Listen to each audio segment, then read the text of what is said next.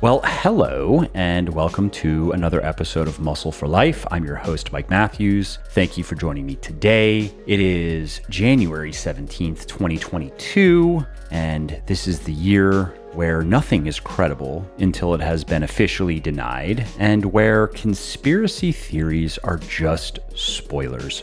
Anyway, if you haven't already, please do take a moment and subscribe to the show in whatever app you are listening to me in so you don't miss any new episodes. And of course, it helps me because it boosts the ranking of the show in the various charts. And this episode is going to be a Q&A where I'm going to answer, oh, I don't know, probably about 20 different questions that people have asked me over on Instagram. Every Monday I put up a ask me a question sticker in my stories and I get a bunch of submissions and I answer quite a few of them there in Instagram and then also answer them here on the podcast. And so if you want to participate, if you want me to answer your questions, follow me over on Instagram at Muscle for Life Fitness every Monday or Tuesday. Look at my stories well, look at my stories every day, multiple times per day, of course, but particularly on Mondays or Tuesdays, look for the Ask Me a Question post and submit your questions, and I review them all. I try to choose ones that are topical or that are being asked by a lot of people or that are particularly interesting to me, just something that I've never touched on before but I try to give it a fair amount of time. I do get through quite a few of them. So again, at Muscle for Life Fitness is where you can find me on Instagram.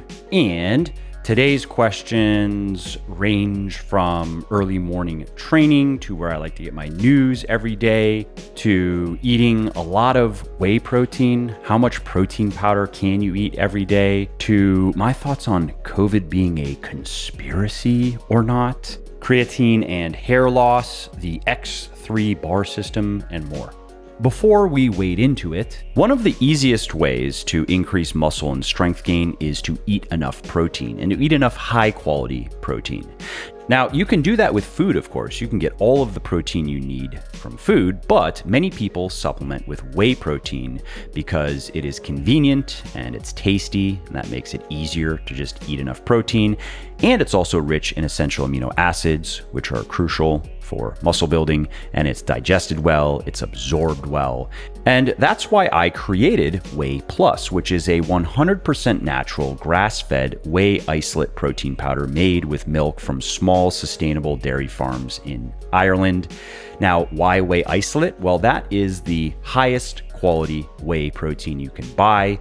And that's why every serving of Whey Plus contains 22 grams of protein with little or no carbs and fat.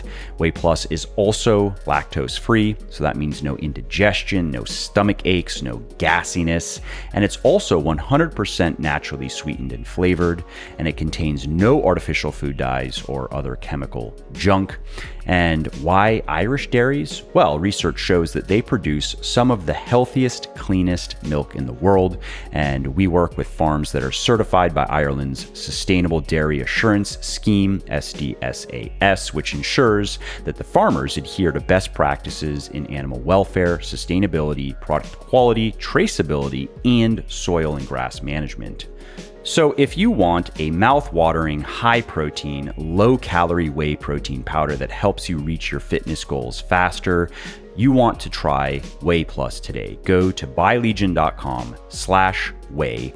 Use the coupon code MUSCLE at checkout and you will save 20% on your first order. And if it is not your first order, you will get double reward points. So that is 10% cash back. And if you don't absolutely love Whey Plus, just let us know and we will give you a full refund on the spot. No form, no return is even necessary.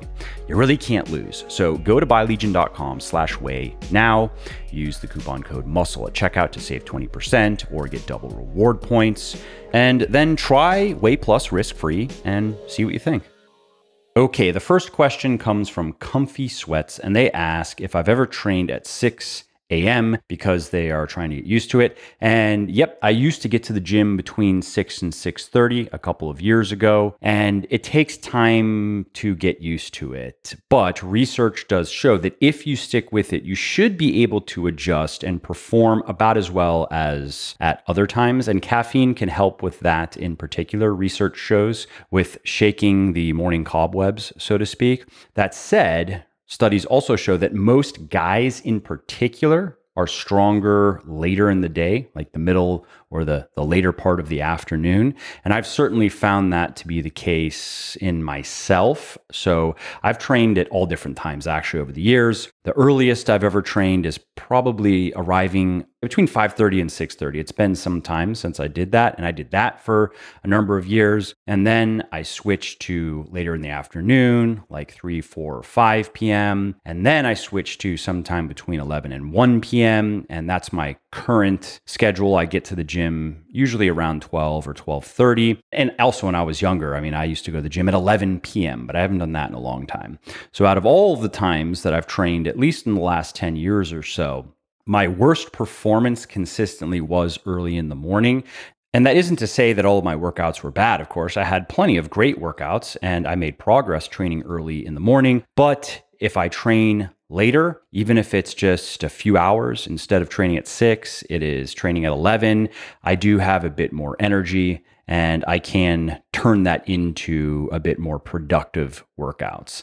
And some people experience that to greater and lesser degrees. So, if you are currently training early in the morning and you could train later in the day and you're curious if it is going to make a big difference in your workouts, give it a try.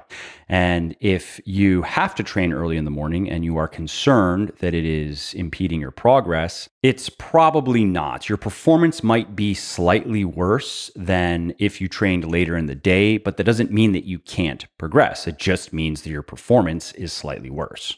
All right, next is a question from Read J1, and they ask where I go every day for the news that I like to read. And I like news aggregators the most, so I go to a few. I go to Drudge Retort for leftoid bias. I go to Drudge Report. Drudge Report is almost like a tabloid now. It's not nearly as interesting as it once was, but it still is a center kind of left leaning outlet. And then I go to Zero Hedge for fascist hate speech. Next is a question from Khaled Sawalma, and he asks if it's okay to eat 120 grams of whey protein per day if he is eating other whole foods to get up to 200 grams of protein per day. And that is okay. It's a little bit much. My general recommendation is no more than 50% of daily protein from powders. And that's a little bit too much for me personally. I'm around 30 to 40% at most. And some days it's a little bit less because I'll just eat a little bit more whole food. Like I'll eat a little bit more chicken on my salad for lunch, for example. It just depends on my inclination, I guess, and what I'm doing that day, how much of a rush I'm in, how much prepped food I have.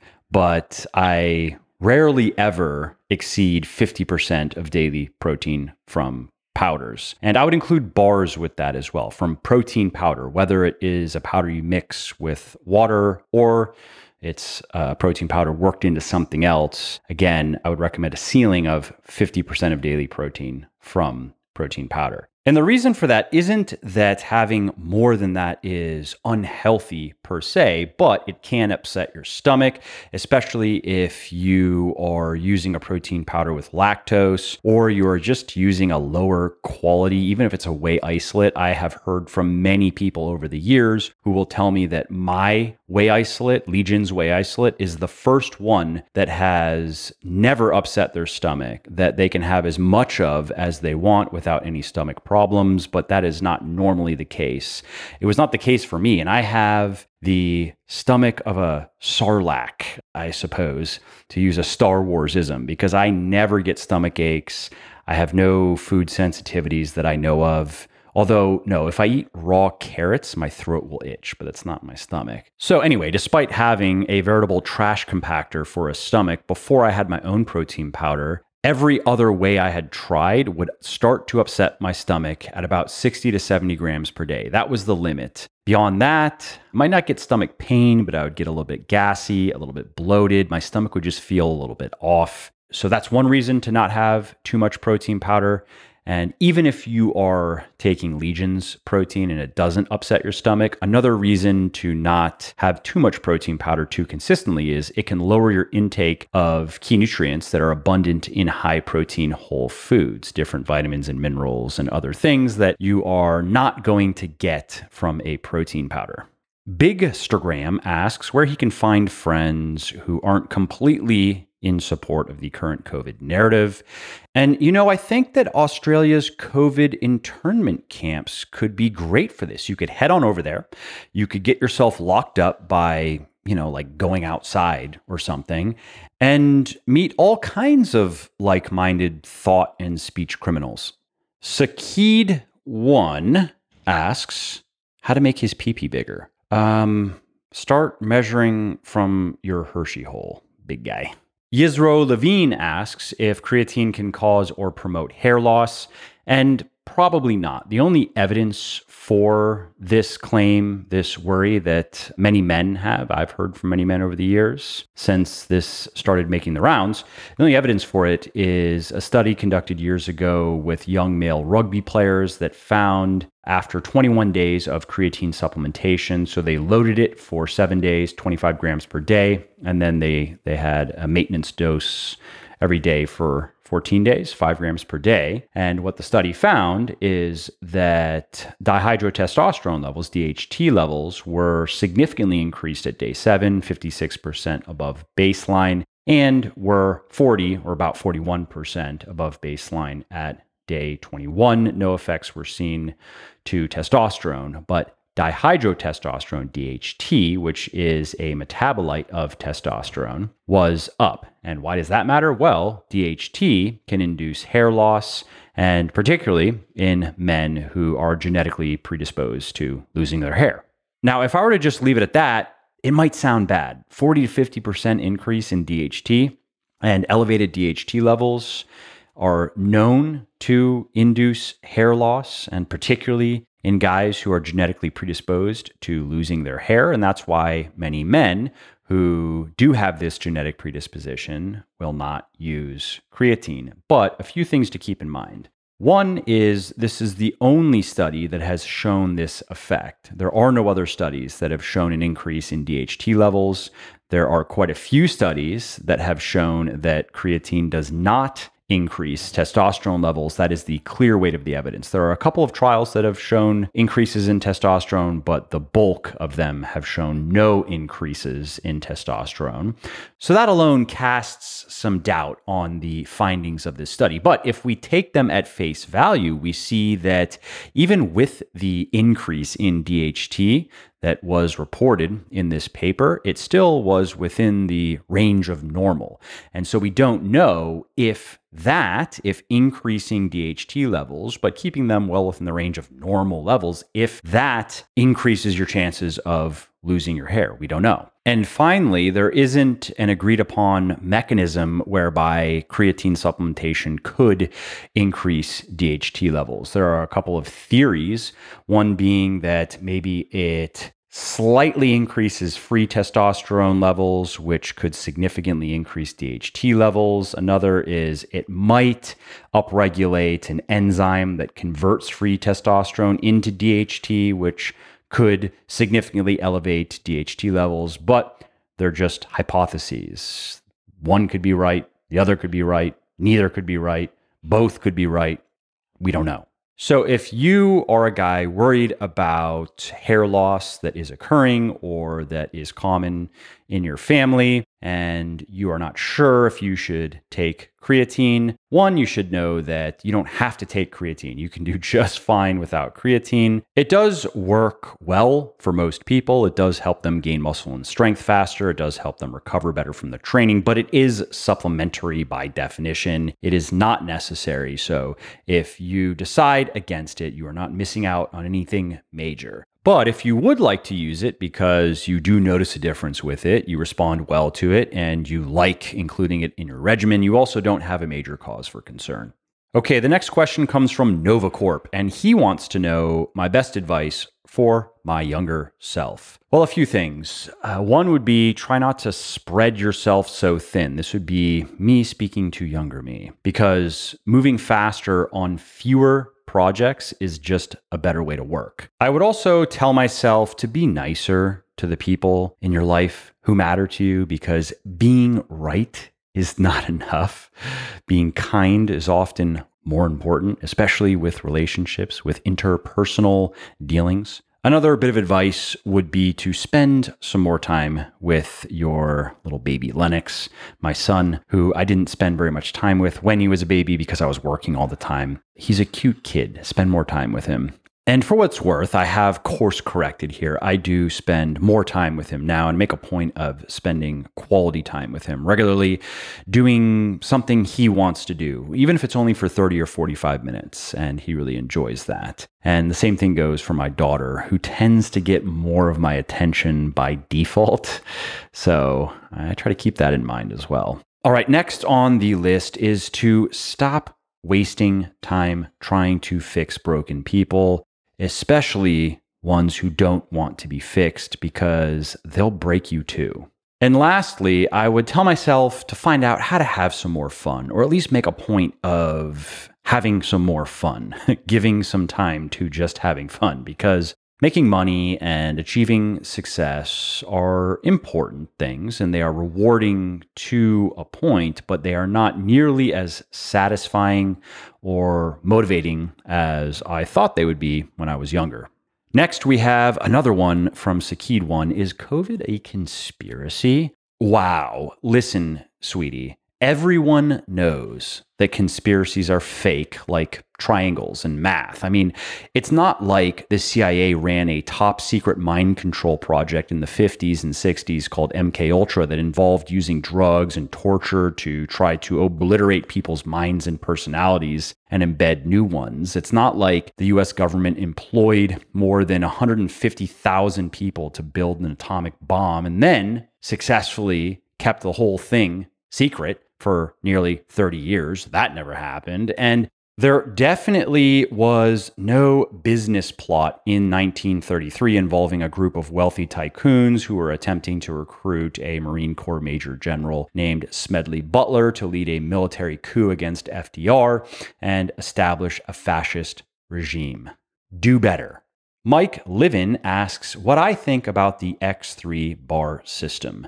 Unfortunately, it's mostly marketing puffery because bands and other contraptions like TRX, for example, they certainly can provide an effective training stimulus, but they can never match free weights and machines for achieving progressive overload and thus for gaining muscle and gaining strength. That said, bands and bands with bars and TRX, those things can be great for certain circumstances. For example, if somebody is new to resistance training and is very out of shape, that is a great place to start. That is where I recommend those people start. That's why, for example, in my new book, Muscle for Life, the beginner programs for men and women use body weight exercises and bands. And then we work our way into dumbbell exercises and eventually machines and barbells. That is a very smooth on ramp to being able to safely and effectively do free weight strength training exercises. Bands and bands with bars and TRX, those can also be great for training at home if you don't have a, a home gym set up and you can't get to the gym and you just want to get something done that is an effective training stimulus that is going to help you maintain your muscle and strength. Good for that. Good for traveling. If you're on the road, can't do your normal training, you can have some bands in your luggage with you, or many hotel gyms have a TRX setup. There's a lot you can do with TRX to, again, just stimulate your muscles. The idea is to maintain your muscle, maintain your strength. So when you get back home and you get back in the gym, you can pick up where you left off, ideally. But anyone who claims that their special way of using bands or their proprietary banded contraption is far more effective than lifting weights is ignorant or lying. Mark A wants to know if I have any tips for him with my Bigger, Leaner, Stronger program because his joints are not great. He had an accident and he had cortisone injections. And it's pretty simple. You want to, and this is for Mark, but anybody else who might be running into joint issues and is struggling to follow Bigger, Leaner, Stronger as I lay it out in the book. You want to, one, avoid exercises that are causing pain and causing problems. So just find substitutions that don't, even if they are not optimum substitutions. For example, if the barbell back squat is causing too many problems and you can't barbell front squat and you can't safety bar squat, maybe your gym doesn't have a safety bar, those would be my first recommendations. But your gym has a belt squat great, do the belt squat. If you have to leg press, do that. My gym has a pendulum squat machine, which is neat. That might work. Or a hack squat. Now, is the hack squat or the leg press as effective ultimately as the barbell back squat? No, but it's plenty effective. And let's not let perfect be the enemy of good or even great, right? And another tip is to lighten the loads wherever you need to. Try six to eight reps instead of four to six. And if that's still an issue, go to eight to 10 or even 10 to 12, because often it is the heavy weights that are aggravating the joints less than the exercises. I've heard from many people over the years who can't squat heavy, heavy weight. They can't squat fours pain free, but tens give them no issues. And remember that doing sets of 10 or 12 reps is not very enjoyable, especially if you are pushing close to muscular failure, but it is a plenty effective training stimulus. You can gain muscle training in that range. Of course, you can gain strength. You're going to gain more strength if you can use heavier weights, but that's okay because your goal is probably not to be a competitive strength athlete. You probably just want to look good, feel good, gain muscle in the right places, bring your body fat levels down to an athletic range and you don't need to be moving big loads to accomplish that. Kinger214 asks BCAAs or EAAs? Well, if you just want tastier water, yes. For literally anything else, no.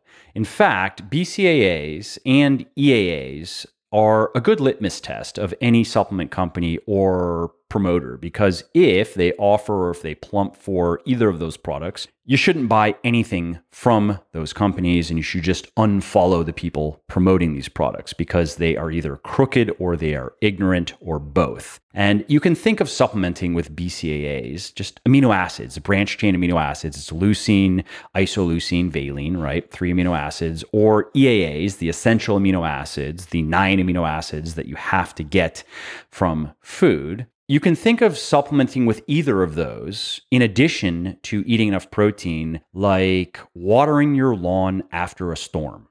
David Tartaridis asks, What's the upper limit of protein you can digest per meal? Generally speaking. And there's no universal limit for all people and all circumstances, but let's just say 50 to 60 grams per meal on the low end, and that would be a small woman, and upward of probably 100 grams, that would be the high end, and that would be a, a large man. Ryan F. Baker asks how much newbie gains are lost in a deficit versus a surplus while following the Bigger, Leaner, Stronger program. And my answer will apply to following any and all programs. And it's hard to say exactly how much of the honeymoon phase you quote unquote waste by starting your resistance training in a calorie deficit, but it's probably not much, especially for the first six months, because I've seen many, many guys and gals gain a lot of muscle and a lot of strength and lose a lot of fat in their first six to eight even 12 months. Jake Alou asks which of Legion's protein is better for people who have a lactose intolerance. And I would recommend trying Whey Plus first if you like whey. That is our most popular protein powder. And for what it's worth, my favorite flavors right now are cinnamon cereal and salted caramel. And that is a 100% whey isolate. So the lactose has been removed. It also has basically no fat, which is nice. And one of the most consistent praises that product gets is no bloating, no upset stomachs. But if it bothers anyone's stomach, just let us know and we will give you your money back. You don't even have to send it back to us. We will just give you your money back or we'll send you something else. For example, you might want to try our plant based protein, which I really like personally. Plant Plus is what that is called. And that one is rice and pea protein. So, of course, no lactose. Okay, Scott Zuhike, sorry if I got that wrong. He asks, when lean bulking, should I go to maintenance calories on rest days? You can, but it is going to increase the chance of accidentally being in a deficit, which wouldn't be ideal if you are trying to maximize muscle and strength gain. And it's also worth considering that the best case scenario isn't really that exciting. So let's say you are right at your maintenance calories or just above them, you get it just right on your rest days it is not going to make a significant difference in how quickly you gain fat. If you could clone yourself and run an experiment, you would not notice a difference, unless I will add you are training, let's say, only two or three days per week. And so if four or five days per week are rest days, then I would recommend maintenance calories on those days and probably just maintenance calories on all days. I personally would probably just eat at maintenance until I could get in the gym at least three times per week, ideally four or five times per week when lean gaining to get the most out of that calorie surplus, to gain as much muscle as I can, knowing that I'm going to gain fat. Next, we have a question from Anonymous, and they ask How much weight should you look to gain per week as a percentage of body weight on your first bulk? Good question. And anything from one half to 1% of your body weight per month is good progress if you still have a lot of muscle to gain.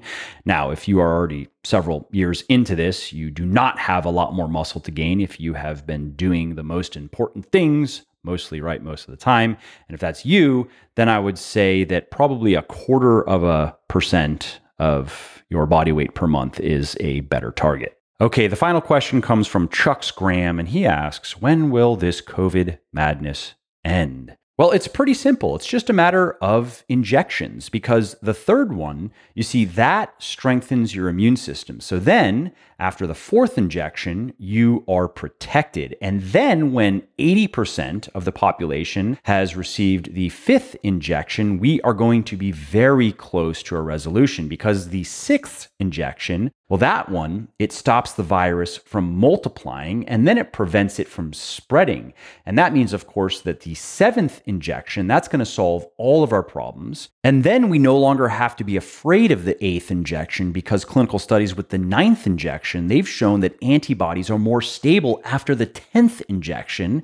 And the 11th injection, that's the one that ensures that there will be no new mutations. So then, of course, there's no reason to not get the 12th injection.